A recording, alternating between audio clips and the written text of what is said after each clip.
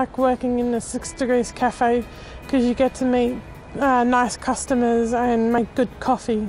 The students um, do a range of tasks at Six Degrees.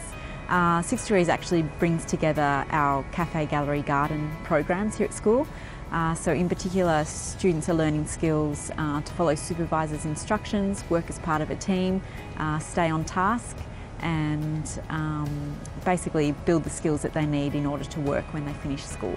I like working in the cafe because I like to get more opportunities to get a job. Uh, we've noticed some, some fantastic positive changes in the students since the cafe opened.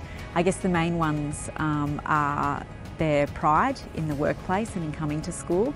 Every week I see their skills and their knowledge gain and increase and you know I can see a lot of them um, gaining future employment and I, I love that. I love knowing that you know we are training them for their future.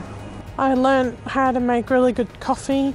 Um, I've been learning making drinks and ordering some orders and seeing my friends. Making the best cappuccino.